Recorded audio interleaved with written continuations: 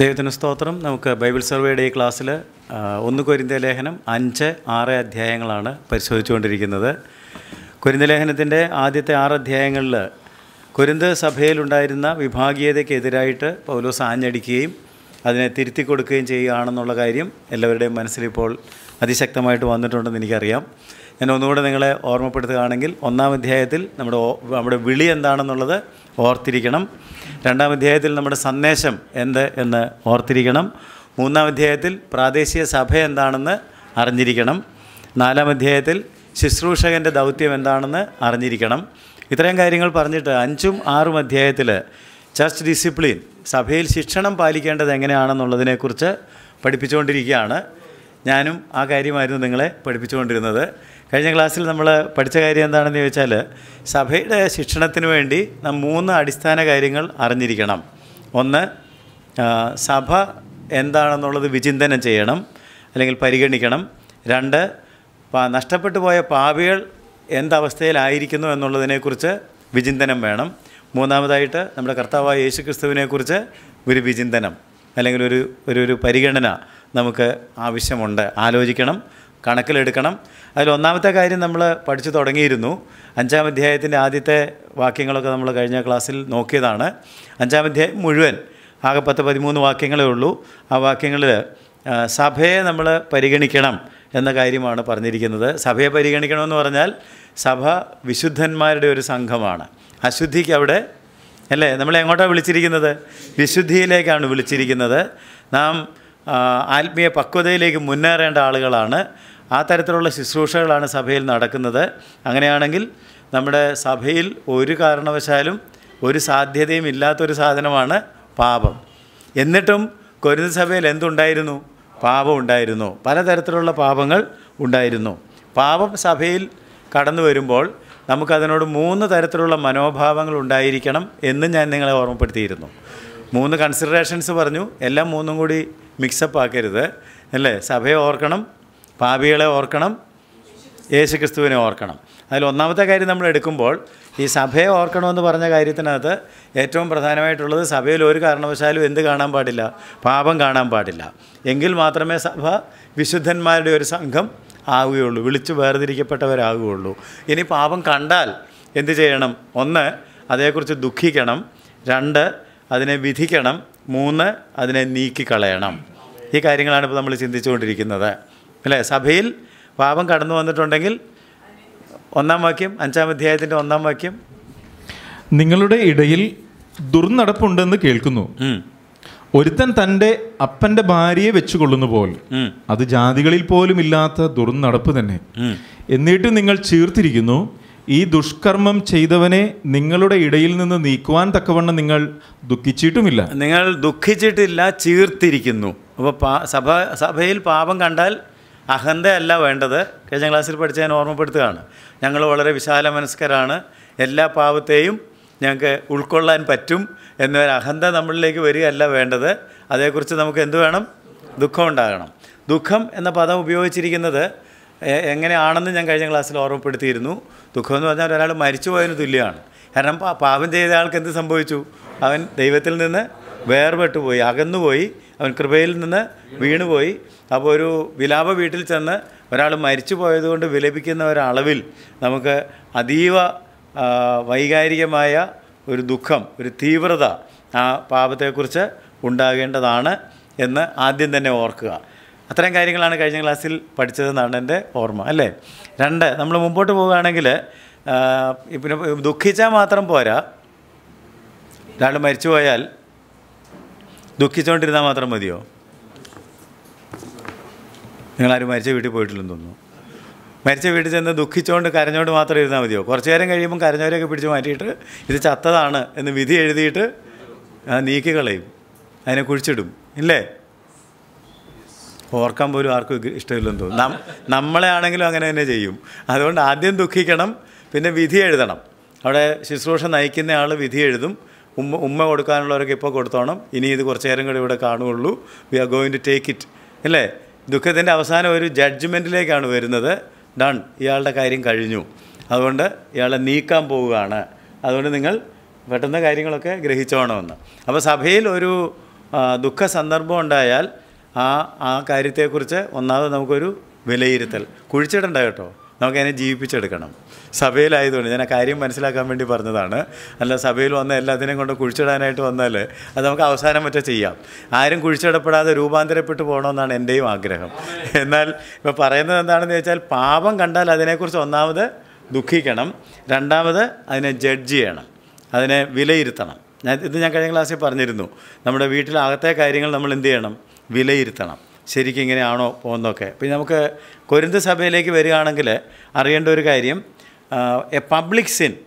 ഒരു രഹസ്യ പാപമല്ല നടന്നിരിക്കുന്നത് അതേക്കുറിച്ച് എല്ലാവർക്കും അറിവുണ്ട് അല്ലേ ഒരു പരസ്യഭാവമാണ് കാരണം എന്തായിരുന്നു അവിടെ വന്ന പാപം ദുർനടപ്പ് അത് സകലർക്കും കാരണം ഈ എന്താ അവിടെ ദുർനടപ്പിൽ സംഭവിച്ചത് ഒരുത്തൻ തൻ്റെ അപ്പൻ്റെ ഭാര്യ അതാരാണെന്നൊക്കെ കഴിഞ്ഞ ക്ലാസ്സിൽ നമ്മൾ പഠിച്ചല്ലോ അപ്പോൾ ഇതിനെ കൊണ്ട് നടക്കുന്നതും പോകുന്നതും ഒക്കെ ആളുകൾക്ക് കാണാം public sin public sin must be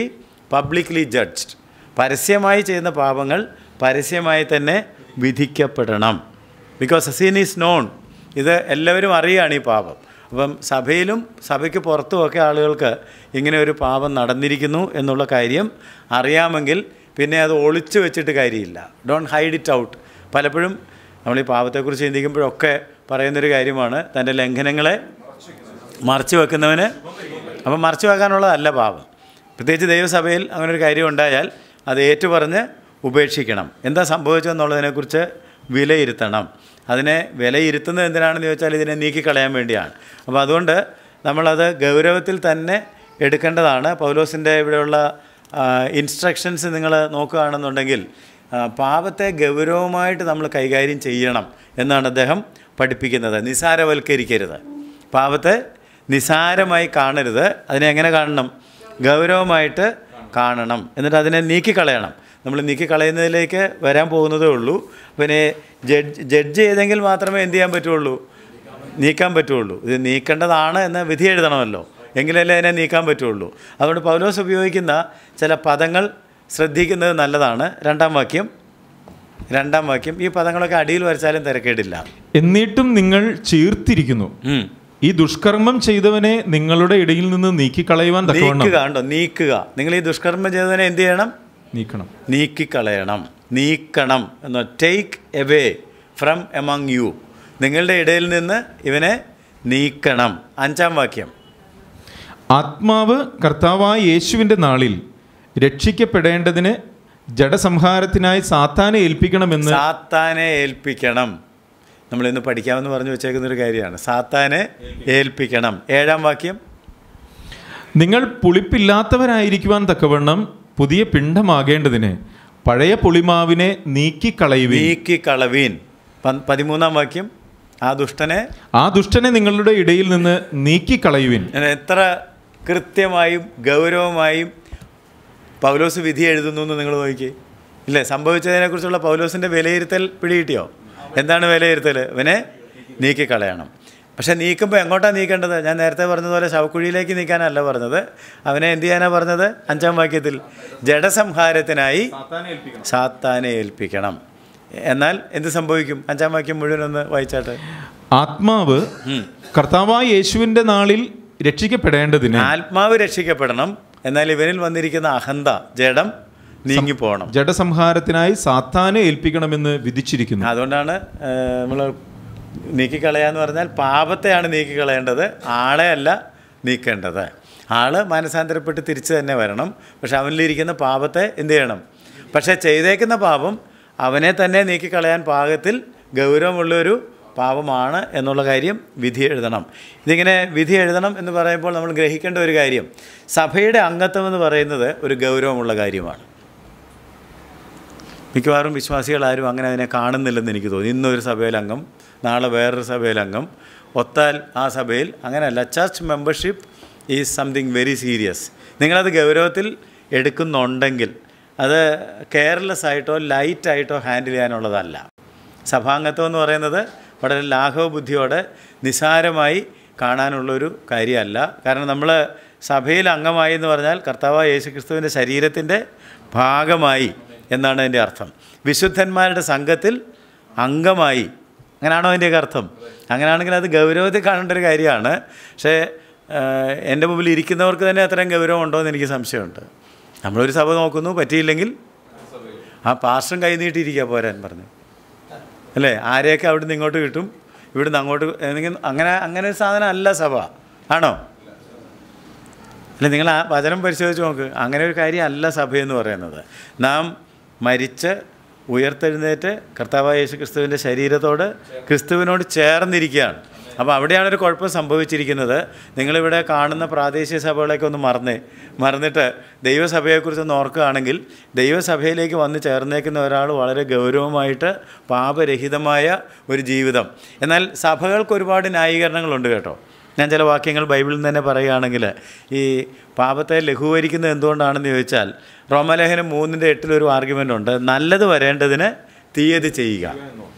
നിനക്ക് നടന്നെങ്കിലേ നല്ലത് വരുള്ളൂ എല്ലാം നല്ലതിനാണ് എല്ലാം ശുഭമായി തീരും പിന്നെ റോമലേഖനത്തിൽ പറയുന്നുണ്ട് കൃപ പെരുകേണ്ടതിന് പാപം ചെയ്തു പാപം ചെയ്തുകൊണ്ടിരിക്കുക ഗലാത്തി ലേഖനത്തിൽ അഞ്ചിൻ്റെ പതിമൂന്നിൽ നമ്മൾ വായിക്കുന്നത് സ്വാതന്ത്ര്യം ജഡത്തിന് അവസരം ആക്കുക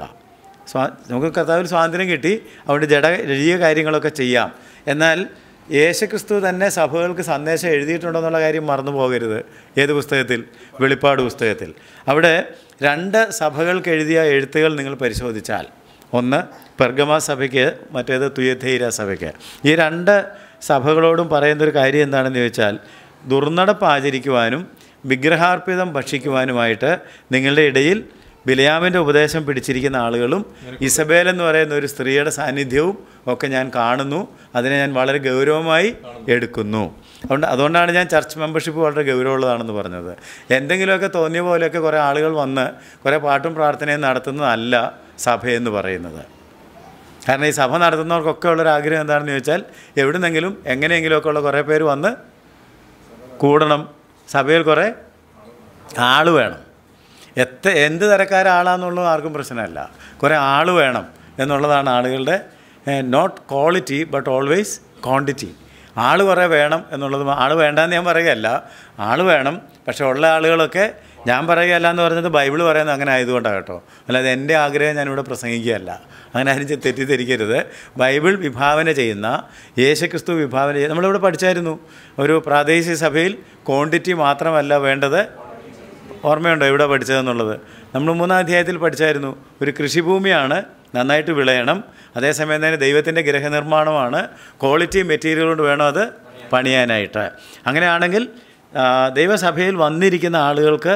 നല്ല ക്വാളിറ്റി വേണം ദുർനടപ്പ് ചെയ്തിട്ടും വിഗ്രഹാർപ്പിതം തിന്നേച്ചും വിഗ്രഹാരാധന നടത്തിയിട്ട് ഒരു ഇസബേലിനെ വെച്ചുകൊണ്ട് ബിലയാമിൻ്റെ ഉപദേശം പിടിച്ചുകൊണ്ട് സഭയിലിരിക്കാൻ പറ്റുമോ ഇരിക്കാൻ പറ്റും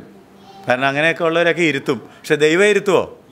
ദൈവം അതിൻ്റെ മേൽ വിധി പ്രഖ്യാപിക്കും കർത്താവ് അതിനെ പരിശോധിക്കും എന്നുള്ള കാര്യം ഒരിക്കലും മറന്നു പോകരുത് അതുകൊണ്ട് നമുക്ക് നമ്മുടെ സഭകളിലൊക്കെ നോക്കുകയാണെങ്കിൽ all kinds of attitudes are there സഭകളിൽ എല്ലാ തരത്തിലുള്ള മനോഭാവങ്ങളുണ്ട് എഫ് എസ് ലേഖനത്തിലെ ഒരു വാക്യം ഞാൻ നിങ്ങളെ വായിച്ച് കേൾപ്പിച്ചാൽ അഞ്ചാം അധ്യായത്തിൻ്റെ പതിനൊന്ന് മുതൽ പതിമൂന്ന് വരെ വായിച്ചാൽ ഇരുട്ടിൻ്റെ നിഷ്ഫല പ്രവൃത്തികളിൽ കൂട്ടാളികൾ ആകരുത് അങ്ങനെയുള്ള എന്തെങ്കിലും കണ്ടാൽ എന്ത് ചെയ്യണം ശാസിക്കണം പരസ്യമായി ശാസിക്കണം അഞ്ചാം അധ്യായത്തിന്റെ പതിനൊന്ന് മുതൽ പതിമൂന്ന് വരെ ഇരുട്ടിന്റെ നിഷ്ഫല പ്രവൃത്തികളിൽ കൂട്ടാളികളാകരുത് അവയെ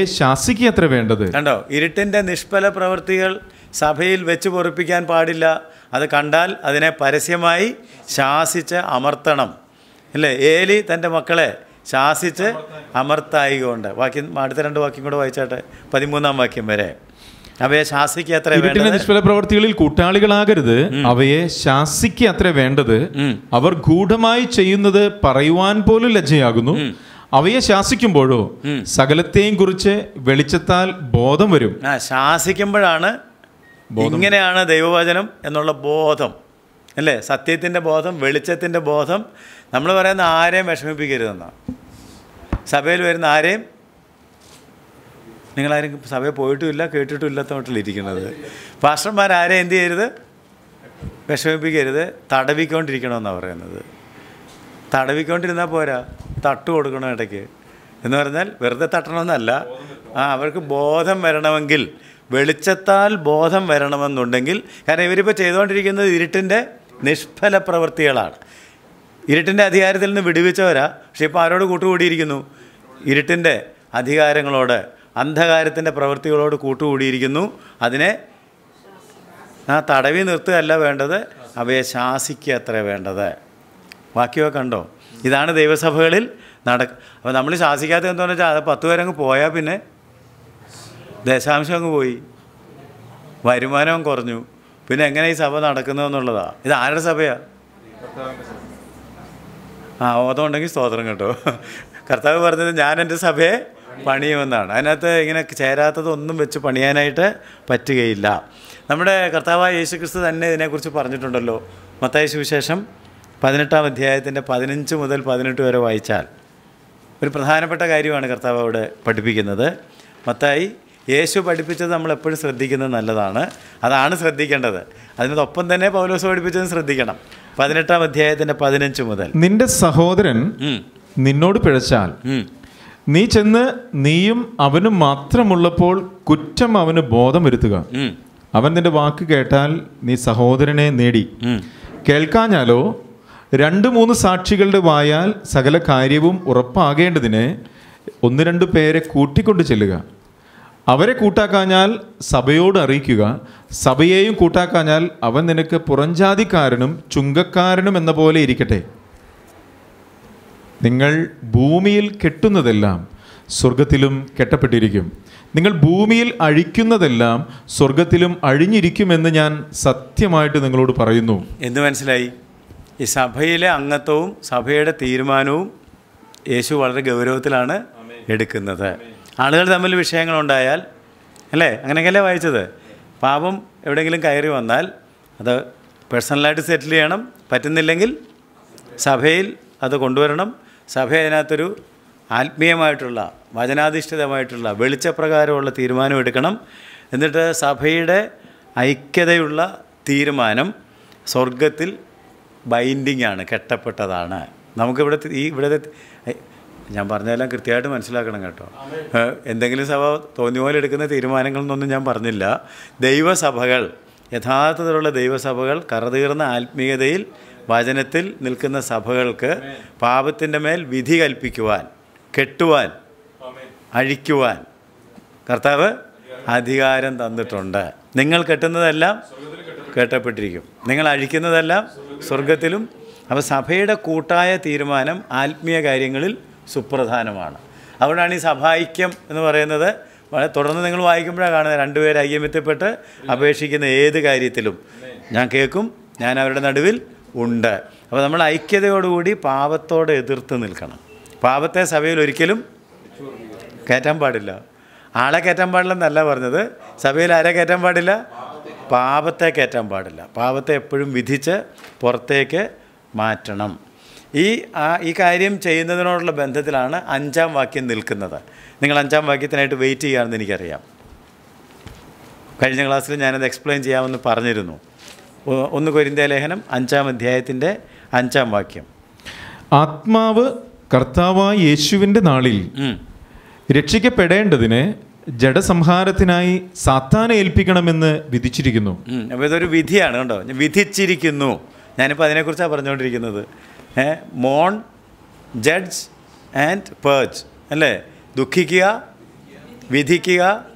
അപ്പോൾ ഇവിടെ വിധി എന്താണ് പൗലോസിൻ്റെ വിധി എന്താണ് ജഡസംഹാരത്തിനായി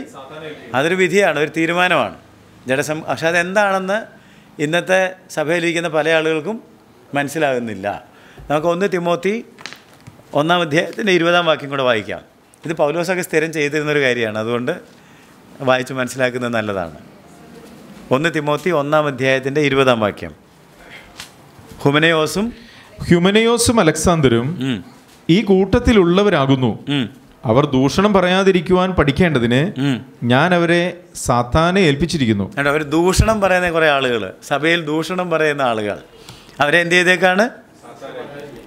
ദൂഷണം പറയാതിരിക്കാൻ പഠിക്കേണ്ടതിന് സാത്താനെ ഏൽപ്പിച്ചിരിക്കുകയാണ് അപ്പോൾ എന്താ ഇതിൻ്റെയൊക്കെ അർത്ഥം ചില ആളുകളെ സാത്താനെ ഏൽപ്പിക്കണം ജഡസംഹാരത്തിനായി ആത്മാവ് കർത്താവിൻ്റെ നാളിൽ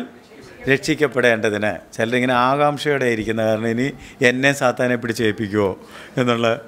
നമുക്ക് ആർക്കും സാത്താനോടെ പോകാൻ താല്പര്യം ഇല്ലല്ലോ അതിൻ്റെ അർത്ഥം എന്താണെന്ന് ചോദിച്ചാൽ no one can deprive any one of salvation നിങ്ങളുടെ രക്ഷ പിടിച്ചു മേടിക്കാൻ ആർക്കും കഴിയുമോ നിങ്ങളെ രക്ഷിച്ചതാരാ അഞ്ചാമ രക്ഷിക്കപ്പെടേണ്ടതിന് രക്ഷ കളയാനല്ല ആൾ നഷ്ടപ്പെട്ടു പോകാനല്ല രക്ഷ നൽകുന്നത് ആരാണ് രക്ഷ ദൈവത്തിൽ നിന്ന് വരുന്നു കർത്താവായ യേശുക്രിസ്തുവാണ് നമുക്ക് രക്ഷ തരുന്നത് സഭയല്ല രക്ഷ തരുന്നത് ഐ റിപ്പീറ്റ് രക്ഷ തരുന്നത് ദൈവമാണ് രക്ഷിക്കപ്പെട്ടവരാണ് എവിടെ വരുന്നത് സഭയിൽ വരുന്നത് സഭയാണോ നിങ്ങളെ രക്ഷിക്കുന്നത് അല്ല സഭ പിന്നെന്താണ് രക്ഷിക്കപ്പെട്ടവരുടെ സമൂഹമാണ് എന്നാൽ രക്ഷിക്കപ്പെട്ട സമൂഹത്തിലേക്ക് നാം ദൈവത്താൽ ചേർക്കപ്പെട്ട് കഴിയുമ്പോൾ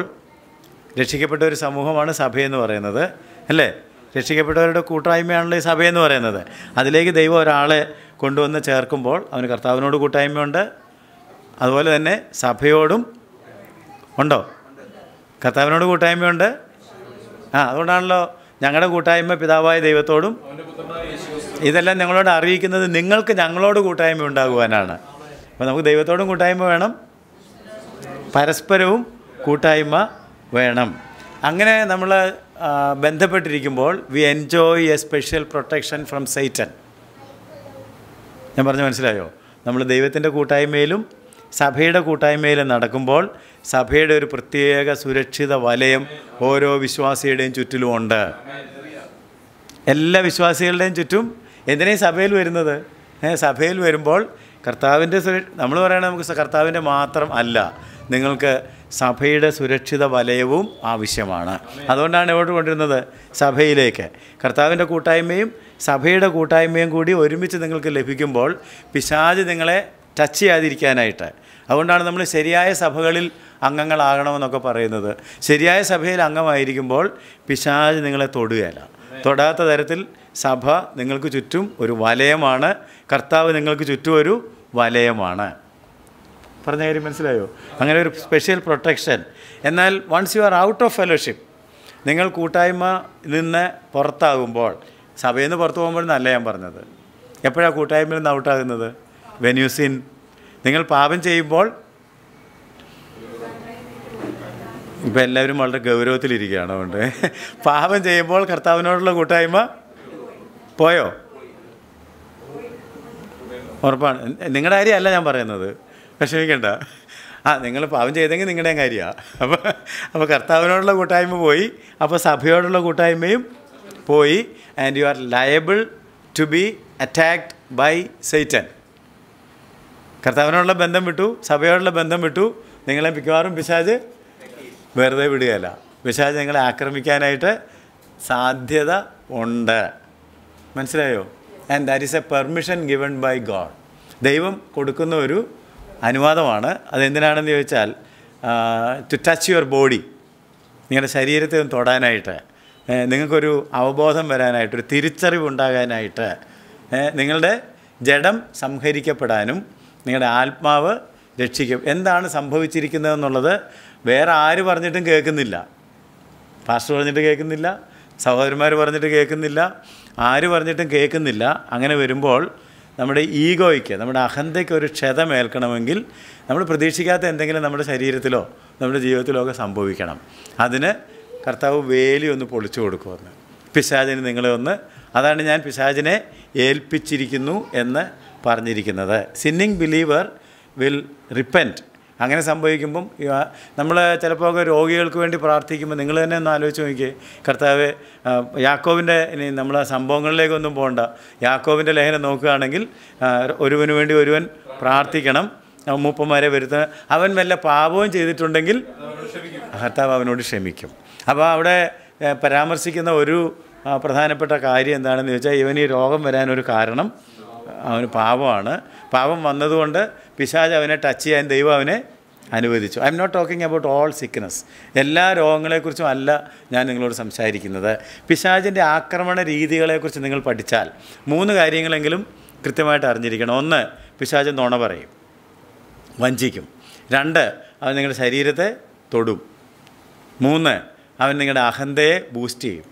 എക്സാമ്പിൾസ് ഒന്നാമത് നുണ ഇപ്പോൾ നമുക്ക് പ്രത്യേകിച്ച് ഉദാഹരണമൊന്നും വേണ്ട ഹൗവാമ്മ മാത്രം മതി അല്ലേ വലിയ വലിയമ്മച്ചി ഹൗവയില്ലേ ഹൗവയെ മാത്രം ഓർത്താൽ മതി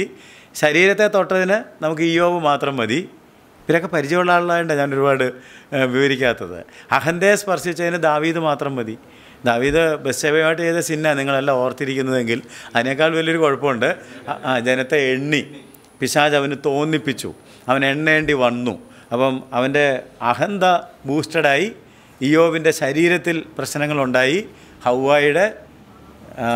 ഹൃദയത്തിൽ വഞ്ചന നുണ വിശ്വസിക്കാൻ ഇടയായി ഇതിൽ നിന്നൊക്കെ നിങ്ങൾക്ക് പഠിക്കാൻ പറ്റും ഈ തരത്തിലാണ് പിശാജ് പലപ്പോഴും പലരെയും ആക്രമിക്കുന്നത് വേറെ ആക്രമണ രീതികൾ ഉണ്ട് അപ്പോൾ ഇവിടെ ജഡസംഹാരത്തിനായിട്ട് ഇയാളെ ജഡം എന്ന് പറഞ്ഞാൽ ശരീരമല്ല ശരീരം സംഹരിക്കപ്പെടാനായിട്ടല്ല ജഡം എന്താണ് നമ്മുടെ സ്വയം നമ്മുടെ അഹന്ത ഞാനിങ്ങനെ ചെയ്യും ആരെന്നോട് ചോദിക്കും എന്നൊരു ഭാവമുണ്ടല്ലോ സഭയിൽ ഒരുപാട് പേർക്ക് അങ്ങനൊരു ഭാവമില്ലേ മിക്കവാറും പേർക്ക് അതാ പാവം അല്ലേ ആർക്കും വിധേയപ്പെടാത്ത ആർക്കും ഒതുങ്ങാത്ത താന്തോന്നികളായ വിശ്വാസികളാണ് മിക്കവാറും സഭയിലിരിക്കുന്നത് അപ്പോൾ അവിടെ അഹന്ത അവരുടെ ഈഗോ അതിനൊരു ക്ഷതം ഏൽക്കണമെന്നുണ്ടെങ്കിൽ അവരെ പലപ്പോഴും ദൈവം ആരെ ഏൽപ്പിക്കുന്നത് അത് നന്നാക്കാൻ ആർക്കേ പറ്റുള്ളൂ നന്നാക്കാൻ ആർക്കേ പറ്റുള്ളൂ പിശാജിന് മാത്രമേ പറ്റുള്ളൂ പിശാജിനെ പരിചയമില്ലാത്തതുകൊണ്ടാണ് വേറെ പാർഷർക്കും പറ്റുകയില്ല വേറെ ആര് വിചാരിച്ചാലും പറ്റുകയില്ല അപ്പോൾ കുറച്ച് നേരത്തേക്ക് അവനെ ഒന്ന് പിശാചയിൽ ഏൽപ്പിച്ചു കൊടുത്താൽ നന്നാക്കി തിരിച്ചു തരും രക്ഷിക്കപ്പെട്ടതാണെങ്കിൽ പിന്നെ ആത്മാവ് വായിക്ക് വാക്കിയൊന്നും മറന്നു പോകരുത് ആ ആത്മാവ് രക്ഷിക്കപ്പെടണം ജഡം സംഹരിക്കപ്പെടണം ചിലപ്പോൾ നിങ്ങൾക്ക് ഒന്നും മനസ്സിലാകാത്ത ചില ഉദാഹരണങ്ങൾ കേട്ടാൽ മനസ്സിലാവും പെട്ടെന്ന് പഠിക്കാൻ ഞാൻ രണ്ട് ഉദാഹരണങ്ങൾ നിങ്ങളുടെ ശ്രദ്ധയിൽ കൊണ്ടുവരുന്നു ഒന്ന് ധൂർത്തുപുത്രൻ ഈ ധൂർത്തുപുത്രനെക്കുറിച്ച് നിങ്ങളൊന്ന് ചിന്തിക്കുകയാണെങ്കിൽ മുടിയനായ പുത്രൻ എന്ന് കേട്ടിട്ടില്ലേ ഏഹ് ഗ്ലൂക്കോസിൻ്റെ സുവിശേഷത്തിലാണ് നമ്മൾ അദ്ദേഹത്തെക്കുറിച്ച് വായിക്കുന്നത് അദ്ദേഹം വീട് വിട്ട് പോയത് സിന്നല്ലായിരുന്നു വീതമൊക്കെ മേടിച്ച് വീട് വിട്ട് സ്വന്തം ഇഷ്ടപ്രകാരം ജീവിച്ചത് നമ്മളിത് സുവിശേഷം പറയാൻ വേണ്ടി മാത്രമേ ഉപയോഗിക്കാറുള്ളൂ എന്നുള്ളതുകൊണ്ട് പക്ഷേ നിങ്ങൾ വേറെ തരത്തിൽ തരത്തിലതിനെക്കുറിച്ച് ചിന്തിച്ചാട്ട് അവൻ വീട്ടിൽ താമസിച്ചിരുന്നപ്പോൾ ആരുടെ ഒരു സുരക്ഷിത വലയമുണ്ടായിരുന്നു അപ്പൻ്റെ സഹോദരന്മാരുടെ ബന്ധുജനങ്ങളുടെ ഒരു സുരക്ഷിത വലയം പക്ഷേ അവൻ്റെ അഹന്ത ബൂസ്റ്റഡ് ആയപ്പോൾ അവൻ പറയുകയാണ് ഞാനായി എൻ്റെ പാടായി എന്നെ ആരും നിയന്ത്രിക്കേണ്ട എൻ്റെ വീതം തന്നേരെ ഞാനത് എൻ്റെ ഇഷ്ടം പോലെ അങ്ങനെ ഒരു സഭയിൽ ഒരുത്തർക്കും ജീവിക്കാൻ പറ്റിയല്ല ഞാൻ പറയുന്നത് മനസ്സിലാവുന്നുണ്ടോ ഒരു വീട്ടിൽ പോലും പറ്റിയല്ല വീട്ടിലെ വീട്ടിലെ ഗ്രഹനാഥന് കീഴടങ്ങി ജീവിക്കണ്ടേ സഭയിലെ നാഥന് കീഴടങ്ങി ജീവിക്കണ്ടേ അങ്ങനെയാണ് ദൈവത്തിൻ്റെ വ്യവസ്ഥകൾ അധികാരങ്ങൾക്കും വ്യവസ്ഥകൾക്കും കീഴടങ്ങണം വിധേയപ്പെടണം അപ്പോൾ ഈ മുടിയനായ പുത്രൻ അല്ലെങ്കിൽ ധൂർത്തുപുത്രൻ അപ്പൻ്റെ നിയമത്തിന് വിധേയപ്പെടാൻ താല്പര്യനല്ലാതെയാണ് വീട് വിട്ടത് വീട് വിട്ടതോടുകൂടി എന്ത് സംഭവിച്ചു അവൻ ആരുടെ കയ്യിലാണ് അവൻ ആരുടെ കയ്യിലാണ് സാത്താൻ്റെ കയ്യിലാണ് വീടിൻ്റെ സുരക്ഷിതത്വം അവന് നഷ്ടപ്പെട്ടു ഇതുതന്നെയാണ് സഭയെന്ന് പറയുന്ന ഒരു ഭവനമാണെന്ന് കുറച്ച്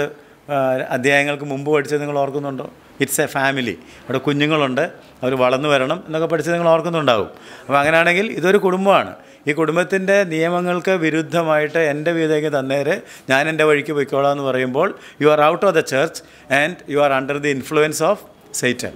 നിങ്ങൾ ദൈവത്തിൻ്റെ സുരക്ഷിത വലയത്തിലല്ല സഭയുടെ സുരക്ഷിത വലയത്തിലല്ല സഭയുടെ സുരക്ഷിത സഭയിൽ എല്ലാവരും നിങ്ങൾക്ക് വേണ്ടി പ്രാർത്ഥിക്കുന്നുണ്ട് ആത്മാർത്ഥമായിട്ട് വിശാജ് തുടരുത് ഇല്ല അങ്ങോട്ടും ഇങ്ങോട്ടും അങ്ങനെ പ്രാർത്ഥനയൊക്കെ ഉണ്ടോ സഭയിൽ ഏ ഉണ്ട് തീർച്ചയായിട്ടും ഉണ്ട് എന്നാൽ ഈ തരത്തിലുള്ള പാപം ചെയ്യുന്നവരെക്കുറിച്ച് അത്ര ആത്മാർത്ഥതയോടെ പ്രാർത്ഥിക്കാൻ വേറെ ഒന്നും ചിന്തിക്കണ്ട എത്ര പേർക്ക് കഴിയും ഒരു ഭാരം അവരെക്കുറിച്ച് ഓർക്കുമ്പം പ്രാർത്ഥിക്കുമ്പം തന്നെ ഒരു ഒരു ഒരു ചെറിയ ഭാരം ഫീൽ ചെയ്യുന്നില്ലേ എന്നാലും ആ സഹോദരൻ അങ്ങനെ ചെയ്തല്ലോ അത് അവൻ ഈ ഈ കൂട്ടായ്മയുടെ സുരക്ഷിത വലയത്തിന് പുറത്തു പോയതുകൊണ്ടാണ് അവന് വേണ്ടി പക്ഷപാതം ചെയ്യേണ്ടെന്ന് ഞാൻ പറഞ്ഞില്ല കേട്ടോ അപ്പോൾ അങ്ങനെ ഉള്ള സന്ദർഭത്തിൽ ഈ ആൾക്ക് എന്ത് സംഭവിച്ചു ദൂർത്തുപുത്തൻ്റെ കാര്യമാണ് പറഞ്ഞുകൊണ്ടിരുന്നത് അദ്ദേഹത്തിന് എന്ത് സംഭവിച്ചു ഏ പിശാജിൻ്റെ കംപ്ലീറ്റ് നിയന്ത്രണത്തിലായി അവൻ നാനാവിധമാക്കി കളഞ്ഞു അവൻ്റെ ആരോഗ്യത്തെ നശിപ്പിച്ച് കളഞ്ഞു അവൻ അവസാനം പന്നി തിന്നുന്ന വാളവരെ കൊണ്ട് അവനെ തന്നെ തൃപ്തിപ്പെടുത്തേണ്ടതായിട്ട് വന്നു അങ്ങനെ ഇരിക്കുമ്പോഴാണ് അവൻ്റെ ജഡം സംഹരിക്കപ്പെട്ടു എങ്ങനെ ജഡം സംഹരിക്കപ്പെട്ടു അവൻ്റെ അഹന്തയ്ക്ക് ഒരു അറുതി വന്നോ അതിനിവിടെ പുസ്തകത്തിൽ ഉപയോഗിച്ചിരിക്കുന്ന പദം സുബോധം വന്നപ്പോൾ അപ്പോൾ ഇങ്ങനെ പാപം ചെയ്യുന്നവരൊക്കെ സുബോ എങ്ങനെ സുബോധം നഷ്ടപ്പെടുന്നത് പിശാജ് ബാധിച്ചതുകൊണ്ട് പിശാജ് ഹൃദയത്തെ കുരുടാക്കിയതുകൊണ്ട് അവൻ്റെ സുബോധം പോയി എന്നാൽ ഇപ്പോൾ അവന് സുബോധം വന്നു അപ്പോൾ അവൻ എന്ത് ചെയ്തു വീടിൻ്റെ കൂട്ടായ്മയിലേക്ക് മടങ്ങി വന്നു മടങ്ങി വന്നപ്പോൾ അപ്പൻ യാതൊരു കണക്കും ചോദിച്ചില്ല കണക്ക് ചോദിച്ചോ കണക്കൊന്നും ചോ അവനപ്പം വീണ്ടും വീടിൻ്റെ സുരക്ഷിതത്വം കിട്ടിയോ ഈ ഉദാഹരണം ഇപ്പോൾ നിങ്ങൾക്ക് ഏകദേശം കാര്യങ്ങൾ എക്സ്പ്ലെയിൻ ചെയ്യുന്നു എന്ന് ഞാൻ കരുതുന്നു ഇതുപോലെ സഭയുടെ സുരക്ഷിത വലയത്തിന് പുറത്തേക്ക് ഈ ആളെ വിടുകയാണ് കാരണം പിശാജ് അവൻ്റെ അഹന്തയ്ക്ക് രണ്ട് അടി കൊടുക്കുമ്പം കുറച്ച് രക്ഷിക്കപ്പെട്ടവനായതുകൊണ്ട് കുറച്ച് കഴിയുമ്പോൾ അവൻ എന്തുണ്ടാവും ബോധം ഉണ്ടാകും ബോധം ഉണ്ടാകുമ്പോൾ അവൻ മടങ്ങി വരും വീണ്ടും സഭയിൽ ഈ നിങ്ങൾ വായിച്ചു വരികയാണെങ്കിൽ രണ്ട് കൊരിന്ത ലേഖനം വായിക്കുമ്പം ഇയാൾക്കും അത് തന്നെ സംഭവിച്ചു ഇദ്ദേഹം മടങ്ങി വന്നതായിട്ട് നമുക്ക് വായിച്ച് മനസ്സിലാക്കാൻ കഴിയും ഏതായാലും രണ്ടാം ലേഖനം പഠിക്കാനുണ്ടല്ലോ another example you think about job രണ്ടാമത്തെ ഒരു ഉദാഹരണം എന്ന് പറയുന്നത് ഇയോബിൻ്റെ കാര്യമാണ് ഇയോബിനെ എല്ലാവർക്കും അറിയാം നാൽപ്പത്തിരണ്ടാം അധ്യായം ഇയോബിൻ്റെ കാര്യവും വേലി കെട്ടിയ കാര്യമൊക്കെ അറിയാമല്ലോ അതൊന്നും വായിപ്പിക്കേണ്ട കാര്യമില്ലല്ലോ ഒന്നാം അധ്യായം പത്താം വാക്യം ഇയോബിൻ്റെ പുസ്തകം ഒരു ഉള്ളതുകൊണ്ട് വായിച്ചേക്കാം ഇയോബ് ഒന്നാം അധ്യായത്തിൻ്റെ പത്താം വാക്യം നീ അവനും അവൻ്റെ വീടിനും അവനുള്ള സകലത്തിനും ചുറ്റും വേലി കെട്ടിയില്ലയോ ആ കണ്ടോ ദൈവം ഇയോബിൻ്റെ വീടിനും നീ അവനും അവനും അവന്റെ വീടിനും അവന്റെ വീടിനും അവനുള്ള സകലത്തിനും ചുറ്റും കണ്ടോ അവനുള്ള സകലത്തിനും ചുറ്റും വേലി കെട്ടിയിട്ടില്ലയോ വേലി എന്റെ അഭിഷിക്തന്മാരെ തൊടരുത് അവർക്ക് ഒരു കേടും വരുത്തരുത് ഒരു വേലി കെട്ടിയിട്ടുണ്ട് എന്നാൽ ഈ വേലി കെട്ടിയിരിക്കുമ്പോൾ തന്നെ യോബിൻ്റെ ഉള്ളിൽ അല്പം അഹന്തയൊക്കെ മൂർച്ഛിച്ചു നമ്മൾ യോബിൻ്റെ പുസ്തകം പഠിച്ചതാണ് കേട്ടോ ബൈബിൾ സർവേയിൽ ഒന്നുകൂടെ കേട്ട് കഴിഞ്ഞ ആഴ്ച എന്നെ ഒരാൾ വിളിച്ചിട്ട് പറഞ്ഞു ഞാൻ ഈ യോബിൻ്റെ പുസ്തകം ഇപ്പോൾ കണ്ടുകൊണ്ടിരിക്കുന്നു അപ്പം ഈ ഈ യൂട്യൂബിൽ ഇതുള്ളതുകൊണ്ട് ഏത് സമയത്തും ആർക്കും വേണമെങ്കിൽ ഇത് കാണാനൊരു സൗകര്യമുണ്ടല്ലോ നിങ്ങൾക്ക് ഈ യോബിൻ്റെ എന്തായിരുന്നു പഠിച്ചതെന്നൊരു ഓർമ്മക്കുറവ് വരുന്നെങ്കിൽ തീർച്ചയായിട്ടും ഒന്ന് സാങ്ച്വറിയുടെ പ്ലേലിസ്റ്റിലേക്ക് പോയാൽ ഒരു പരസ്യം പോലെ കണക്കായിരിക്കും ഇതിനെ നിങ്ങൾക്ക് അവിടെ ജോബ് എന്ന് പറയുന്ന ഒരു പുസ്തകം കാണാൻ സാധിക്കും അവിടെ വർക്കി സാർ എന്ന് പറഞ്ഞ ഒരാൾ പഠിപ്പിച്ചത് കാണാൻ സാധിക്കും അതിങ്ങനെ നിങ്ങൾക്ക് കേൾക്കുമ്പം ജോബിനെ കുറിച്ച് എന്തൊക്കെയാണ് എന്നുള്ളൊരു ഓർമ്മ കിട്ടും കേട്ടോ അപ്പോൾ പുള്ളിക്ക് ഈ സുരക്ഷിത വലയുണ്ടായിരുന്നു അപ്പോഴാണ് ദൈവം സാത്താനുമായിട്ടൊരു സംഭാഷണം നടക്കുന്നത് യോബിനെ പോലെ നിഷ്കളങ്കനും നീതിമാനും ദോഷം വിട്ടകലുന്നവനും അപ്പോൾ ഇത് ആത്മാവിൽ യോബിൻ്റെ ഉള്ളിലേക്കൊക്കെ വന്നപ്പോൾ യോബിന് ഒരല്പം ഈഗോയൊക്കെ ബൂസ്റ്റഡായി എന്നിട്ട് വന്ന ആളുകളൊക്കെ എത്രയൊക്കെ പറഞ്ഞിട്ടും പുള്ളിക്കാരൻ അതങ്ങോട്ട് അംഗീകരിക്കാൻ പറ്റാതെ ഇരിക്കുകയാണ് അപ്പോഴാണ് ഈ വേലിയൊക്കെ പൊളിച്ചു കൊടുത്തതും അവൻ്റെ വസ്തുവകകൾ പോയതും ശരീരത്തിൽ തൊട്ടതും ഒക്കെ അറിയാമല്ലോ പക്ഷെ അവൻ്റെ പ്രാണനെ മാത്രം തൊട്ടു പോകരുത് രണ്ടാം അധ്യായമൊക്കെ വായിച്ചാൽ മതി ഇനി നമുക്ക് നാൽപ്പത്തിരണ്ടാം അധ്യായം വായിക്കാം രണ്ട് ഒന്ന് രണ്ട് വാക്യങ്ങൾ നാൽപ്പത്തിരണ്ടാം അധ്യായത്തിൻ്റെ ആറാം വാക്യം അഞ്ചും ആറും വാക്യങ്ങൾ ഞാൻ നിന്നെക്കുറിച്ച് ഒരു കേൾവി മാത്രമേ കേട്ടിരുന്നുള്ളൂ ഇപ്പൊ ദൈവം നേരെ വന്നു കേട്ടോ നിങ്ങൾ യോവിൻ്റെ പുസ്തകം മനസ്സിലൊന്ന് കണ്ട് ഒന്നാം അധ്യായത്തിൽ നിന്നിപ്പോൾ നമ്മൾ എങ്ങോട്ടാണ് വന്നേക്കുന്നത് നാൽപ്പത്തിരണ്ടാം അധ്യായം അതിനിടയ്ക്കത്തെ കഥയൊക്കെ ഒന്ന് ഓർക്കുകയാണെങ്കിൽ ഇതിനിടയ്ക്ക് ഇവനോട് പല ആളുകൾ സംസാരിച്ച് കുഴപ്പങ്ങളൊക്കെ ബോധ്യപ്പെടുത്താൻ ശ്രമിച്ചെങ്കിലും ആരുടെയും ശ്രമങ്ങളൊന്നും വിജയിച്ചില്ല ഞാൻ അങ്ങനെ പാപം ചെയ്തിട്ടില്ല എനിക്ക് അങ്ങനെ ഒരു കുഴപ്പമില്ല എന്നൊക്കെ പറഞ്ഞ് ബലം പിടിച്ചു നിൽക്കുമായിരുന്നു എന്നാൽ നാൽപ്പത്തിരണ്ടാം അധ്യായത്തിൽ എല്ലാവരുടെയും സംസാരങ്ങളൊക്കെ തീർത്തുകൊണ്ട് ആരിടപെട്ടു ദൈവം ഇടപെട്ടു ദൈവം ഇടപെട്ടപ്പോൾ ദൈവത്തോട് യോ പറയാണ് ഞാൻ വിചാരിച്ചത് എനിക്ക് നിന്നെക്കുറിച്ച് എല്ലാം അറിയാമെന്നായിരുന്നു ഉണ്ടോ അതിൻ്റെ അഹന്ത എനിക്ക് നിന്നെക്കുറിച്ച് എല്ലാം അറിയാം എന്നാണ് ഞാൻ കരുതിയിരുന്നത് എന്നാൽ ഇപ്പം എനിക്ക് മനസ്സിലാകുന്നു ഞാൻ നിന്നെക്കുറിച്ചൊരു കേൾവി മാത്രമേ കേട്ടിരുന്നു കേൾവി മാത്രമേ കേട്ടിരുന്നുള്ളൂ ഇപ്പോഴോ എൻ്റെ കണ്ണാൽ നിന്നെ കാണുന്നു കാണുന്നു ആകയാൽ ഞാൻ എന്നെ തന്നെ വെറുത്തു പൊടിയിലും ചാരത്തിലും കിടന്ന് അനുദപിക്കുന്നു എന്നെ തന്നെ വെറുത്തു എന്ന് പറഞ്ഞാൽ അതിൻ്റെ അർത്ഥം എന്താ ഇത്രയും നേരം ഞാൻ എന്നെ തന്നെ സ്നേഹിച്ചു ഞാൻ എന്നെ തന്നെ സ്നേഹിച്ചു എൻ്റെ ഈഗോ എൻ്റെ നീതിബോധം എൻ്റെ ആ ശരിയായ പ്രവൃത്തികൾ എൻ്റെ ആ ധനം എൻ്റെ ആത്മീയത ഇതിനെക്കുറിച്ചൊക്കെ എനിക്കെന്തുണ്ടായിരുന്നു വലിയൊരു അഹന്ത ഉണ്ടായിരുന്നു ഇപ്പോൾ ഞാൻ എന്നെ തന്നെ വെറുത്തു എന്നിട്ട് എന്ത് ചെയ്തു അനുതപിക്കുന്നു പൊടിയിലും ചാരത്തിലും കിടന്ന് അനുദപിക്കുന്നു ആ പൊടിയിലും ചാരത്തിലും കിടന്ന്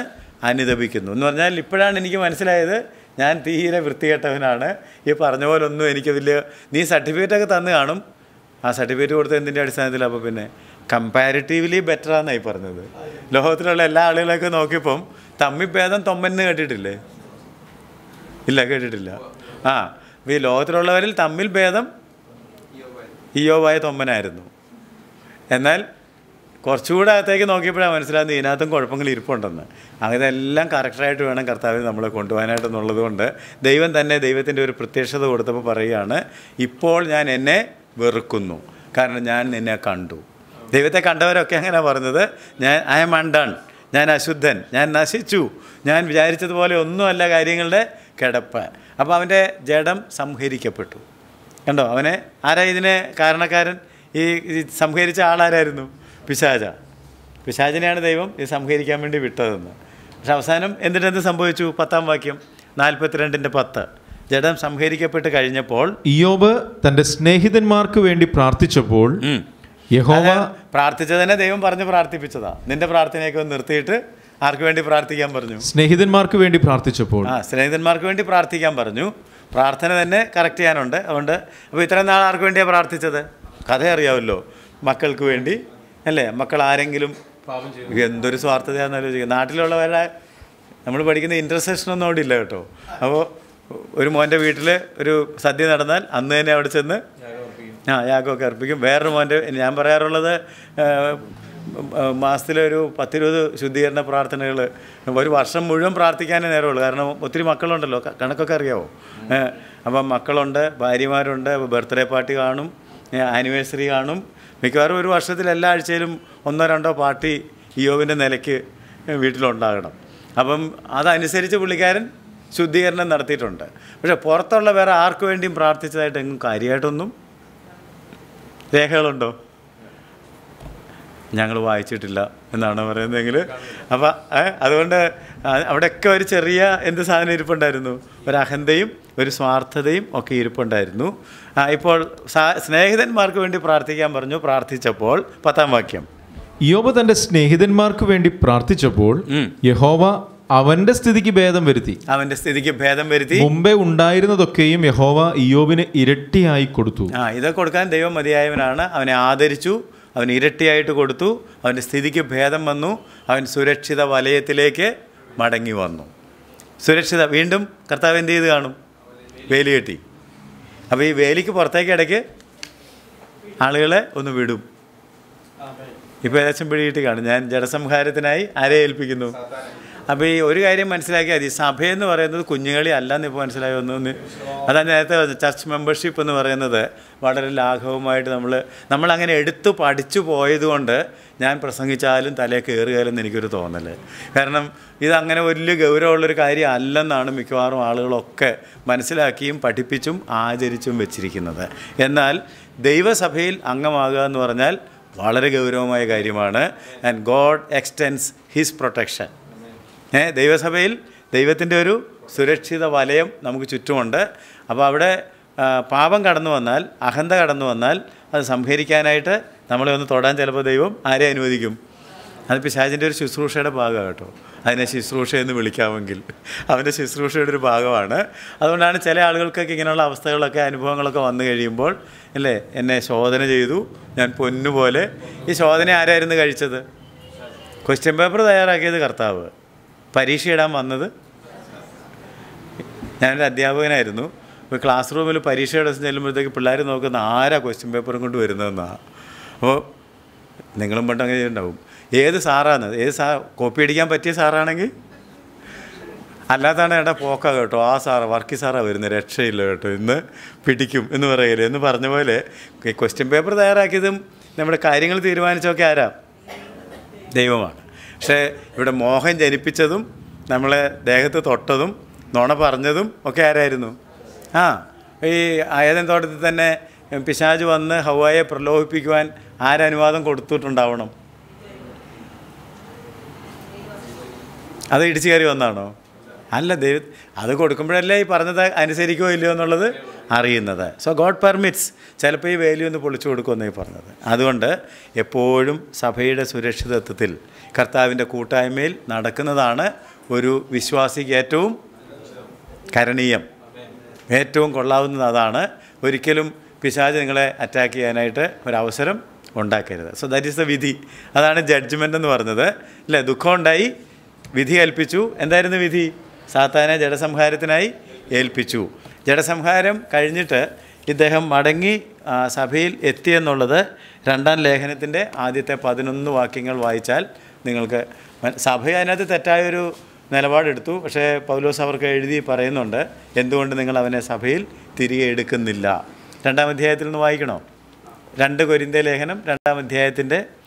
ആദ്യത്തെ വാക്യങ്ങൾ വായിച്ചാൽ എന്നാൽ ഞാൻ വീണ്ടും നിങ്ങളുടെ അടുക്കൽ വരുന്നത് ദുഃഖത്തോടെ ആകരുത് എന്ന് ഞാൻ നിർണയിച്ചു ഞാൻ നിങ്ങളെ ദുഃഖിപ്പിച്ചാൽ എന്നാൽ ദുഃഖിതനായവൻ അല്ലാതെ എന്നെ സന്തോഷിപ്പിക്കുന്നത് ആര് എന്നാൽ ദുഃഖിതനായവൻ ആരാ ഇയാള് ഇയാള് പിടിയിട്ടില്ല ഇപ്പം പൗലോസ് വിധി പ്രഖ്യാപിച്ചതുകൊണ്ടും ജഡസംഹാരത്തിനായിട്ട് സാത്താനെ ഏൽപ്പിച്ചതിനാലും അവനെന്തുണ്ടായി ദുഃഖമുണ്ടായി തീർച്ചയായിട്ടും അങ്ങനെ പൗലോസ് നടപടി എടുത്തല്ലോ എന്നുള്ളതുകൊണ്ട് ദുഃഖമുണ്ടായി എന്നാൽ ദുഃഖിതനായവൻ അല്ലാതെ എന്നെ സന്തോഷിപ്പിക്കുന്നത് ആര് ഞാൻ ഇത് തന്നെ എഴുതിയത് ഞാൻ വന്നാൽ എന്നെ സന്തോഷിപ്പിക്കേണ്ടിയവരാൽ ദുഃഖമുണ്ടാകരുതെന്ന് വെച്ചും എൻ്റെ സന്തോഷം നിങ്ങൾക്ക് എല്ലാവർക്കും സന്തോഷമായിരിക്കുമെന്ന് നിങ്ങളെല്ലാവരെയും കുറിച്ച് വിശ്വസിച്ചിരിക്കുക കൊണ്ടുമാകുന്നു വളരെ കഷ്ടവും മനോവ്യസനവും ഉണ്ടായിട്ട് താഴേക്ക് നിങ്ങൾ വായിച്ചാൽ അത് കാണാൻ സാധിക്കും ആളെ തിരിയ സഭയിലേക്ക് പ്രവേശിപ്പിക്കാതെ പൗലൂസ് പൗലോസ് പുസ്തകം വായിക്കുന്ന സ്വഭാവം ഉണ്ടല്ലോ കേട്ടോ അതുകൊണ്ട് തീർച്ചയായിട്ടും ഒന്ന് വായിക്കുകയാണെങ്കിൽ അതിനെ തിരിയ സഭയിൽ പ്രവേശിപ്പിക്കണം അവന് ഭൂരിപക്ഷത്താൽ ഉണ്ടായ ഈ ശിക്ഷ മതി മതി അവൻ അതിദുഃഖത്തിൽ മുങ്ങി പോകാതിരിക്കേണ്ടതിന് നിങ്ങൾ അവനോട് ക്ഷമിക്കുകയും കണ്ടോ നിങ്ങൾ അവനോട് ക്ഷമിക്കുകയും അവനെ ആശ്വസിപ്പിക്കുകയും തന്നെ വേണ്ടത് അവനെ ആശ്വസിപ്പി എന്ന് പറഞ്ഞാൽ അതുകൊണ്ട് നിങ്ങളുടെ സ്നേഹം അവന് ഉറപ്പിച്ചു കൊടുക്കുവാൻ ഞാൻ നിങ്ങളോട് അപേക്ഷിക്കുന്നു ആദ്യം പറഞ്ഞത് അവനെ പുറത്താക്കാനാ ഇപ്പൊ പറഞ്ഞത് അവനോട് നിങ്ങൾ ക്ഷമിച്ച് അവനെ ആശ്വസിപ്പിച്ച് നിങ്ങളുടെ സ്നേഹം അവന് തിരികെ ആ സുരക്ഷിത വലയത്തിലേക്ക് അവനെ പ്രവേശിപ്പിക്കണം കാരണം നമ്മൾ ആഗ്രഹിക്കുന്നത് ആരും നശിച്ചു പോകണമെന്നല്ല അവൻ്റെ അഹന്ത നശിച്ചിട്ട് അവൻ തിരികെ സഭയിലേക്ക് വന്ന് ആ രക്ഷയിൽ മുന്നോട്ട് പോകണം എന്നുള്ളതാണ് കാര്യം പിടികിട്ടിയോ അപ്പോൾ അങ്ങനെയാണെങ്കിൽ മൂന്നാമത്തെ കാര്യം കൂടെ നമുക്ക് പെട്ടെന്ന് പരിശോധിക്കുകയാണെങ്കിൽ അഞ്ചാം അധ്യായത്തിൻ്റെ ആറ് മുതൽ പതിമൂന്ന് വരെയുള്ള വാക്യങ്ങളിൽ നീക്കിക്കളയുക എന്നുള്ള കാര്യമാണ് പറഞ്ഞിരിക്കുന്നത് അല്ലേ പാപം ഉണ്ടെന്നുള്ളത് കണ്ടു ദുഃഖിച്ചു വിധിച്ചു ഇനി എന്ത് ചെയ്യണം വിധിച്ചാൽ പിന്നെ അത് നടപടിയിലാക്കണമല്ലോ നീക്കിക്കളയണം എന്തിനാ എന്തിനാ നീക്കിക്കളയണം പാപത്തെ നീക്കിക്കളയണം ആളെ പുറത്ത് വിട്ടു ഇനി പാപം സഭയിൽ വരാത്ത തരത്തിൽ പാപത്തെ നീക്കിക്കളയണം ഇതിന് ഇവിടെ ഒരു ഇമേജ് ഉപയോഗിക്കുന്നുണ്ട് അല്ലെങ്കിൽ ഒരു ഉദാഹരണം ഉപയോഗിക്കുന്നുണ്ട് ആറാം വാക്യം മുതൽ പതിമൂന്നാം വാക്യം വരെ വായിക്കുമ്പോൾ അത് പെസഹ ആചരണത്തിൻ്റെ കാര്യമാണ് ആറാം വാക്യം വേണേൽ നമുക്കൊന്ന് വായിക്കാം നിങ്ങളുടെ പ്രശംസ നന്നല്ല അസാരം പുളിമാവ് പിണ്ടത്തെ മുഴുവനും പുളിപ്പിക്കുന്നു എന്ന് അറിയുന്നില്ലയോ എന്തിനാ നീക്കി കളയാൻ പറഞ്ഞത് അസാരം പുളിമാവ് പിണ്ടത്തെ മുഴുവൻ പുളിപ്പിക്കും പുളിപ്പിക്കുന്നു നിങ്ങൾ പുളിപ്പില്ലാത്തവരായിരിക്കുവാൻ തക്കവണ്ണം അപ്പൊ ഈ ഉദാഹരണം എവിടുന്നാ വന്നതെന്നാണ് ഞാൻ ചോദിക്കുന്നത് പഴയ നിയമത്തിൽ പുറപ്പാട് പുസ്തകം പന്ത്രണ്ടാം അധ്യായത്തിൽ നിന്നാണ് അവിടെയാണ് ദൈവം പെസഹാ കുഞ്ഞാടാകുന്ന അടുത്ത് പറഞ്ഞിട്ടുണ്ട് നമ്മുടെ പെസഹാ കുഞ്ഞാടും അറുക്കപ്പെട്ടിരിക്കുന്നു ആരാണ് ക്രിസ്തു അതാണ് യോഹന്നാൻ സ്നാപകൻ പറഞ്ഞത് ആ ലോകത്തിൻ്റെ പാപത്തെ ചുമക്കുന്ന ദൈവത്തിൻ്റെ കുഞ്ഞാട് ആ കുഞ്ഞാട് അറുക്കപ്പെട്ടു അതുകൊണ്ട് നമ്മളും പിശാജ് നമ്മളെ കടന്നു പോയിട്ട് രക്ഷ പ്രാപിച്ച ആളുകൾ ആണ് അങ്ങനെയാണെങ്കിൽ നമ്മളെങ്ങനെ ഉത്സവം ആചരിക്കണം പുളിപ്പില്ലായ്മ കൊണ്ട് ഉത്സവം ആചരിക്കണം ഈ സഭയ്ക്ക് യഹൂദന്മാരെ അംഗങ്ങളുണ്ടായിരുന്നുകൊണ്ട് ചിലപ്പോൾ കാര്യം മനസ്സിലായി കാണും ഇല്ലെങ്കിൽ പിന്നെ പൗലോസ് അത് എക്സ്പ്ലെയിൻ ചെയ്ത് കൊടുത്തു കാണും നിങ്ങൾക്ക് ചിലർക്ക് ഒരു അത്ഭുതം ഉള്ളതുകൊണ്ട് ഞാൻ അല്പം എക്സ്പ്ലെയിൻ ചെയ്യാം അതെന്താണെന്ന് ചോദിച്ചാൽ യഹൂദന്മാർ ഈ മിശ്രീമിൻ്റെ ആധിപത്യത്തിൽ നിന്ന് വിടുവിക്കപ്പെട്ടത് രക്തം പുരട്ടിയതുകൊണ്ടാണ് അല്ലേ സംഹാരകൻ ഒഴിഞ്ഞു പോയത് മേലും കട്ടളക്കാരന്മേലും എന്ത് കണ്ടതുകൊണ്ടാണ് ആ രക്തം അവർക്ക് എങ്ങനെ കിട്ടി ഒരു കുഞ്ഞാടിനെ അറുത്തത് കൊണ്ടാണ് കുഞ്ഞാടിനെ അറുത്തു രക്തം പുരട്ടി എന്നിട്ട് അവർ പെസഹ അപ്പം കഴിച്ചു ആ കാര്യങ്ങളൊക്കെ ഒന്ന് മനസ്സിൽ കാണുക പന്ത്രണ്ടും പതിമൂന്നും അധ്യായം ഏത് പുസ്തകത്തിൻ്റെ പുറപ്പാട് പുസ്തകത്തിൻ്റെ അപ്പോൾ അവിടെ ഒരു കണ്ടീഷൻ ഉണ്ടായിരുന്നു ആ കണ്ടീഷൻ എന്താണെന്ന് ചോദിച്ചാൽ നിൻ്റെ വീട്ടിലോ നിൻ്റെ അതിർക്കകത്തോ നിൻ്റെ ആചരണത്തിൽ കഴിക്കുന്ന അപ്പത്തിനകത്തോ ഒരു സ്ഥലത്തും എന്തുണ്ടാകരുത് പുളിപ്പ് ഉണ്ടാകരുത് കഴിക്കുന്ന അപ്പത്തിൽ പുളിപ്പുണ്ടാകരുത് ഇല്ലേ പുളിപ്പില്ലാത്ത അപ്പവും കയ്പ് ചീരയും മനസ്സിലാവുന്നൊക്കെ അല്ലെങ്കിൽ ഞാൻ ഇടയ്ക്ക് പറയുന്ന പോലെ എല്ലാം ഇപ്പോൾ വായിക്കാൻ ഒക്കുകയല്ല please go home read chapter twelve and thirteen of Exodus പുറപ്പാട് പുസ്തകം പന്ത്രണ്ട് പതിമൂന്ന് അധ്യായങ്ങൾ വായിക്കുക ഞാൻ ചില വാക്യങ്ങൾ വായിപ്പിക്കാം പന്ത്രണ്ടാം അധ്യായത്തിൻ്റെ എട്ടാം വാക്യം ഈ ആശയത്തോടുള്ള ബന്ധത്തിൽ സുപ്രധാനമായ ചില വാക്യങ്ങൾ മാത്രം നമുക്ക് വായിക്കാം പന്ത്രണ്ടിൻ്റെ എട്ട് അന്ന് രാത്രി അവർ തീയിൽ ചുട്ടതായ ആ മാംസവും പുളിപ്പില്ലാത്ത അപ്പവും തിന്നണം പുളിപ്പില്ലാത്ത അപ്പം തിന്നണം ആ രാത്രിയിൽ എന്ത് കഴിക്കണം പുളിപ്പില്ലാത്ത നമുക്ക് അത് മാത്രം മതി ബാക്കിയെല്ലാം എടുക്കുന്നില്ല എന്ത് കഴിക്കണം പുളിപ്പില്ലാത്ത അപ്പം പത്തൊമ്പതാം വാക്യം ഏഴ് ദിവസം നിങ്ങളുടെ വീടുകളിൽ പുളിച്ച മാവ് കാണരുത് ആ അപ്പം വീട്ടിൽ പുളിച്ച മാവ് ഒരാഴ്ചത്തേക്ക് ഏഴ് ദൈവത്തിന്റെ നമ്പറാണെന്നും പൂർണ്ണതയുടെ ആണെന്നൊക്കെ അറിയാമല്ലോ അപ്പോൾ അപ്പം പുളിച്ചതാകരുത് വീട്ടിൽ പുളിച്ച മാവ് കാണരുത് പതിമൂന്നിന്റെ ഏഴ്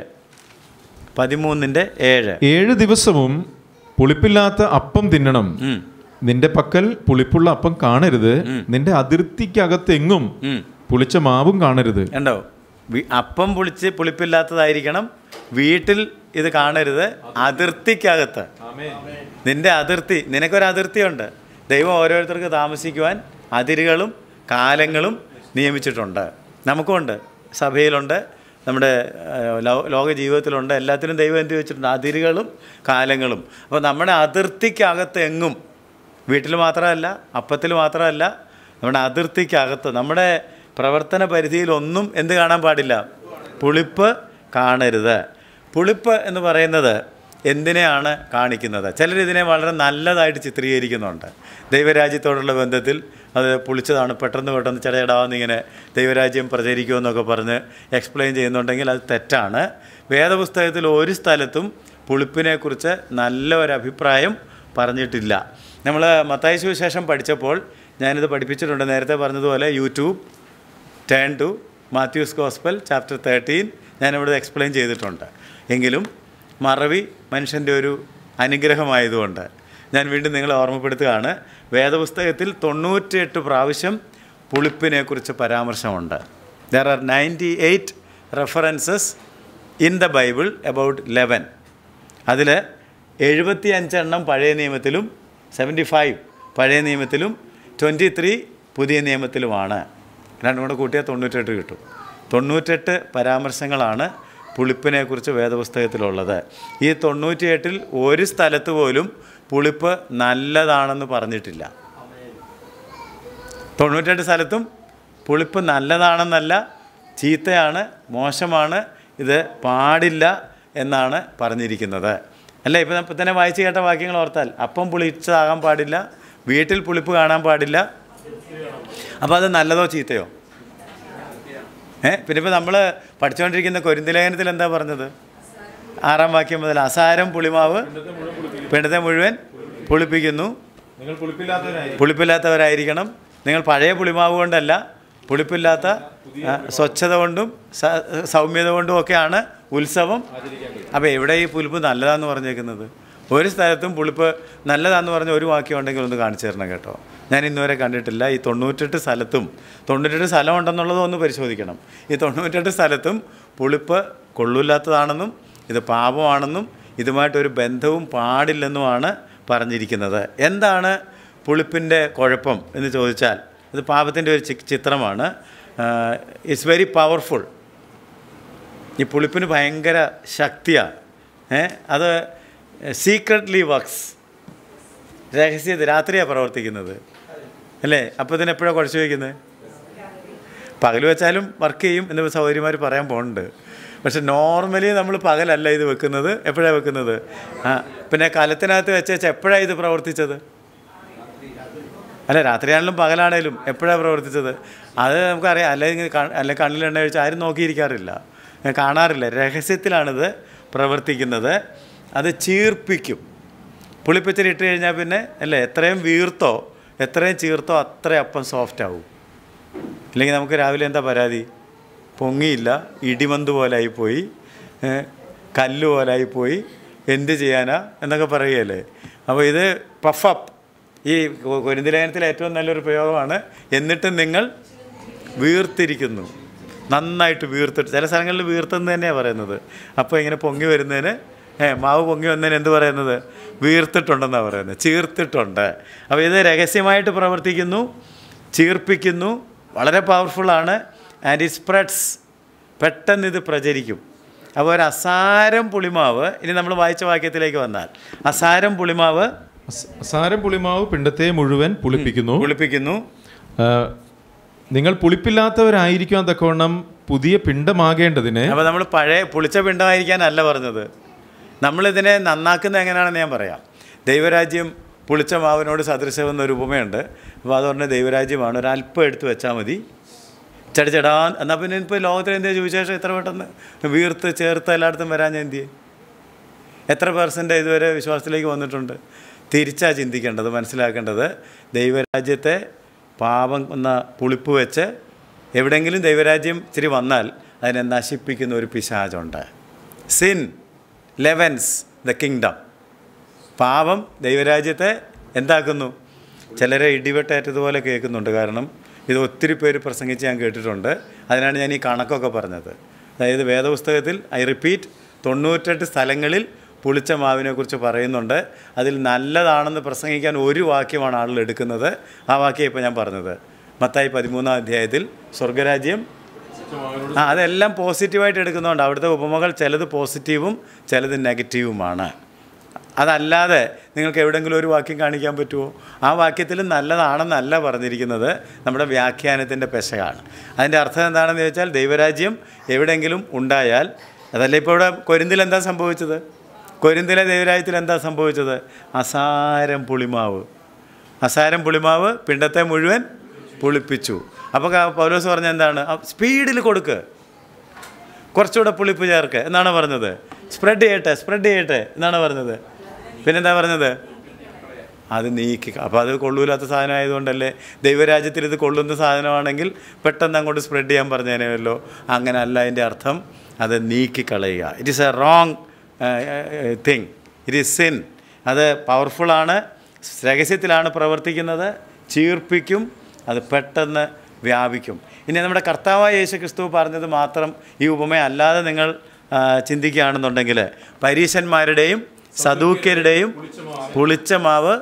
സൂക്ഷിച്ചു കൊള്ളണം എന്തിനെക്കുറിച്ചാണ് പറഞ്ഞത് അവരുടെ ഉപദേശം മത്തായ വിശേഷം പതിനാറാം അധ്യായത്തിൻ്റെ ആറാം വാക്യവും പന്ത്രണ്ടാം വാക്യവും അറിയാവുന്നതാണെങ്കിലും ഒന്ന് വായിക്കുന്നത് നല്ലതാണ് എന്നാൽ യേശു അവരോട് നോക്കുവിൻ പരീശന്മാരുടെയും സദൂക്യരുടെയും പുളിച്ച മാവ് സൂക്ഷിച്ചു കൊള്ളുവിൻ എന്ന് പറഞ്ഞു പന്ത്രണ്ടാം വാക്യം അങ്ങനെ അപ്പത്തിൻ്റെ പുളിച്ച മാവല്ല പരീശന്മാരുടെയും സദൂക്യരുടെയും ഉപദേശം അത്രേ സൂക്ഷിച്ചു കൊള്ളുവാൻ അവൻ പറഞ്ഞു എന്ന് അവർ ഗ്രഹിച്ചു ഞാനൊക്കെ ഇത്രയും സ്ട്രഗിൾ ചെയ്യേണ്ടി വരുന്നത് അതുകൊണ്ടാണ് കാരണം ദൈവരാജ്യത്തെ മൊത്തം പുളിപ്പിച്ചിട്ടേക്കാണ് പ്രസംഗകര് വല്ല മനസ്സിലായോ ദൈവരാജ്യത്തിൻ്റെ അകത്തേക്ക് പിശാച് ചെയ്തിരിക്കുന്ന ഏറ്റവും വലിയ തന്ത്രം എന്താണെന്ന് ചോദിച്ചാൽ ഒരൽപ്പം പുളിമാവ് പ്രോസ്പിരിറ്റിയുടെ ഒരല്പം പുളിമാവ് പാപം ചെയ്യാമെന്നുള്ള ഒരല്പം പുളിമാവ് അങ്ങനെയൊന്നും ആർക്കും വിശുദ്ധരാകാൻ ഒക്കുകയില്ലെന്നുള്ള പുളിമാവ് ഇതിങ്ങനെ ഇട്ടുകൊടുത്തിരിക്കുന്നത് കൊണ്ട് മൊത്തത്തിൽ ആളുകൾക്കൊരു ചിന്തയാണ് ഓ അങ്ങനെയൊന്നും ആർക്കും വിശുദ്ധിയും യേശുവിനെ പോലെ ആകലും ഒന്നും നടക്കത്തില്ല മൊത്തം ദൈവരാജ്യത്തെ പുളി ഇത് തന്നെയാണ് കർത്താവ് പറഞ്ഞത് പുളിച്ച മാവിനോട് സദൃശ്യം എന്നിട്ട് നമുക്കത് ഗ്രഹിക്കാൻ പറ്റുന്നില്ലെങ്കിൽ അതുകൊണ്ട് ഇത് പ്രത്യേകം ഗ്രഹിക്കണം കേട്ടോ ലൂക്കോസ് പന്ത്രണ്ടിൻ്റെ ഒന്ന് യേശു പറഞ്ഞത് ലൂക്കോസ് പന്ത്രണ്ടിൻ്റെ ഒന്ന് പുളിച്ച മാവിന് വേറൊരു നിർവചനം യേശു നൽകുന്നുണ്ട് ഉപദേശം പുളിച്ച മാവാണ് അതിനിടെ പുരുഷാരം തമ്മിൽ ചവിട്ടുവാൻ തക്കവണ്ണം ആയിരം ആയിരമായി തിങ്ങിക്കൂടിയപ്പോൾ അവൻ ആദ്യ ശിഷ്യന്മാരോട് പറഞ്ഞു തുടങ്ങിയത് പരീശന്മാരുടെയും പരീശന്മാരുടെ പുളിച്ച മാവായ കപടഭക്തി സൂക്ഷിച്ചുകൊള്ളുവിൻ പുളിച്ച മാവിന് വേറൊരു മീനിങ് കിട്ടുന്നുണ്ട് ഒന്ന് ഉപദേശം യേശു പറഞ്ഞതാ ഞാൻ പറഞ്ഞതല്ല രണ്ട്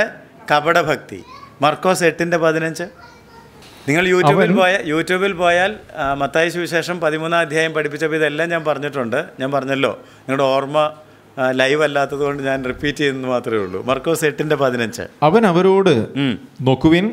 പരീശന്മാരുടെ പുളിച്ചമാവും ഹേരോദാവിന്റെ പുളിച്ചമാവും സൂക്ഷിച്ചു കൊള്ളുവിൻ എന്ന് പറഞ്ഞു മിക്സിംഗ് റിലിജിയൻ ആൻഡ് പൊളിറ്റിക്സ് എന്ന് കൽപ്പിച്ചു ആ കൽപ്പിച്ചു ഹേരോദാവിന്റെ പുളിച്ചമാവ് അപ്പോൾ ഇതൊക്കെ നല്ലതാണോ പരീശന്മാരുടെ പുളിച്ചമാവ് ഹേരോദ് പിന്നെ ദൈവരാജ്യത്തിലെ പുളിച്ചമാവ് മാത്രം എന്തിനാണ് നമ്മൾ നന്നാക്കി മാമോദിസ മുക്കി എടുക്കുന്നത് എല്ലാ പുളിച്ചമാവും ഒരേ അല്ലെങ്കിൽ നമുക്ക് വ്യാഖ്യാനത്തിൽ എന്തില്ലാതെ വരും സ്ഥിരതയില്ലാതെ വരും വ്യാഖ്യാനത്തിനൊരു സ്ഥിരത വേണ്ടേ പുളിച്ചത് മോശമാണെങ്കിൽ എല്ലായിടത്തും മോശമായിരിക്കണം നല്ലതാണെങ്കിൽ എല്ലായിടത്തും അത്ര യോജിപ്പുണ്ടോ അങ്ങനെയാണെങ്കിൽ ഈ തൊണ്ണൂറ്റെട്ട് സ്ഥലത്തും പുളിച്ചമാവെന്ന് പറഞ്ഞിരിക്കുന്നത് നല്ല അർത്ഥത്തിലല്ല ചീത്ത അർത്ഥത്തിലാണ് എന്ന് ഗ്രഹിക്കുക അതുകൊണ്ട് നമുക്ക് വിഷയത്തിലേക്ക് തിരിച്ചു വരാം a sinning member in the church let it be the Corinthian church or any other church is like a piece of yeast സഭയിൽ പാപം ചെയ്യുന്ന ഒരു വ്യക്തി കൊരിന്ത് സഭയിലാണെങ്കിലും വേറെ ഏത് സഭയിലാണെങ്കിലും എന്തിനു തുല്യമാണ് പുളിപ്പിന് തുല്യമാണ് അതിൻ്റെ കുഴപ്പം എന്താണ് അത് പിണ്ടത്തെ മുഴുവൻ പുളിപ്പിക്കും അതുകൊണ്ട് കഴിവതും വേഗം അതിനെ എന്ത് ചെയ്യണം നീക്കി കളയണം അവനോട് വിട്ടകലണം അവനവിടെ ഇരിക്കാൻ അനുവദിക്കരുത് അതിനെ നീക്കി കളയണം ഇറ്റ് ഈസ് ലൈക്ക് ക്യാൻസർ എന്ന് വേണമെങ്കിൽ പറയാം ഇത് അർബുദ വ്യാധി പോലെയാണ് spreading quickly in the body പെട്ടെന്ന് ശരീരത്തിൽ മുഴുവനും അത് സ്പ്രെഡാകും and it must be removed by a drastic surgery അതിനെ ഒരു വലിയ ശക്തമായ സർജറി ഓപ്പറേഷൻ കൊണ്ട് എന്ത് ചെയ്യണം നീക്കിക്കളയണം അതാണ് പൗലോസ് ഇവിടെ പഠിപ്പിക്കുന്നത് ഏഴാം വാക്യം നിങ്ങൾ പുളിപ്പില്ലാത്ത ഇല്ലാത്തവരായിരിക്കാൻ തക്കവണ്ണം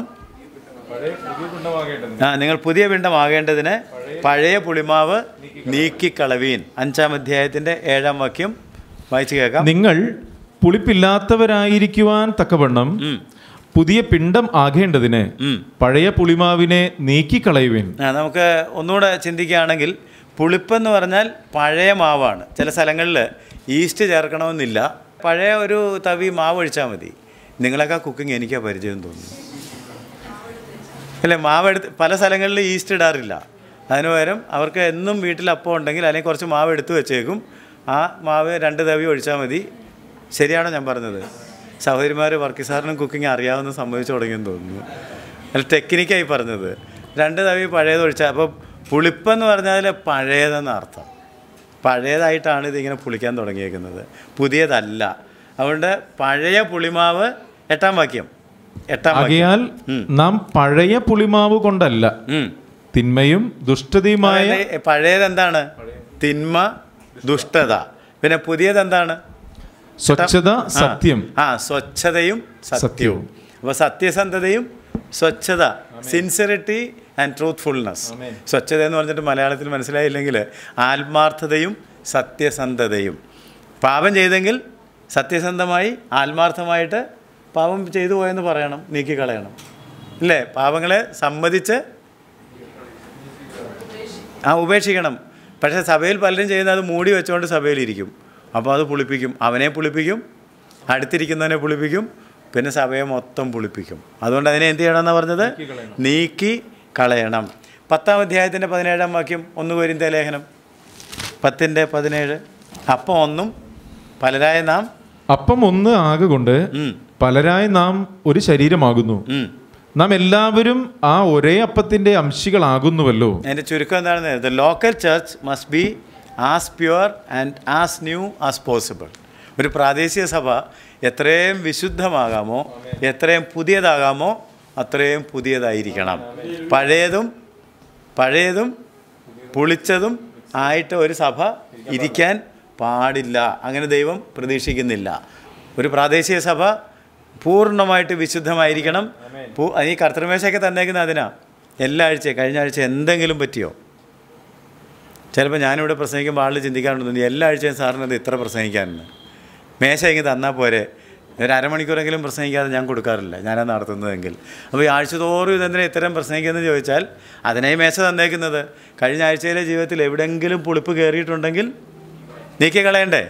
ചാൻസ് കൊടുക്കണ്ടേ മനുഷ്യൻ തന്നെത്താൻ ശോധന ചെയ്യണം മനുഷ്യൻ തന്നെത്താൻ വിധിക്കണം ശരീരത്തെ വിവേചിക്കണം ഏത് ശരീരത്തെ സഭയാം ശരീരത്തെ ഈ സഭയാകുന്ന ശരീരത്തിൽ എൻ്റെ ദൗത്യം ഞാൻ പുതിയ രീതിയിലാണോ പഴയ രീതിയിലാണോ ചെയ്തതെന്നുള്ളതിനെക്കുറിച്ച് വിചിന്തനം ചെയ്ത്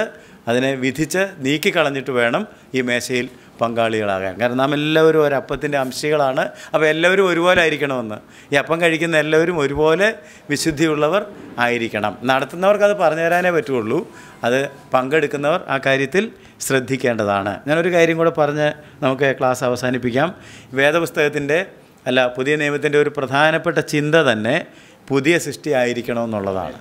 വേറെ ഒന്നുമല്ല ഗലാത്തി ലേഖനം ആറിൻ്റെ പതിനഞ്ച് അഗ്രചർമ്മമല്ല ആ ഉപദേശങ്ങളല്ലെന്ന് അഗ്രചർമ്മം പരിച്ഛേദന എന്ന് പറഞ്ഞാൽ ഇതിൽ ഏതാ വേണ്ടതെന്നുള്ള തർക്ക വിതർക്കങ്ങളും ഉപദേശങ്ങളുമല്ല പരിച്ഛേദനയല്ല അഗ്രചർമ്മവുമല്ല പുതിയ സൃഷ്ടി എത്രേ കാര്യം ദൈവം നോക്കുന്നത് അതാ ഞാൻ നേരത്തെ പറഞ്ഞത് how pure you are how new you are നമ്മൾ എത്ര പ്യുവറാണ് എത്ര പുതിയതാണ് അതാണ് അല്ലെ എത്ര ഉപദേശത്തിൽ കാർക്കശ്യമുള്ളവരാണ് എത്ര ഉപദേശത്തിൽ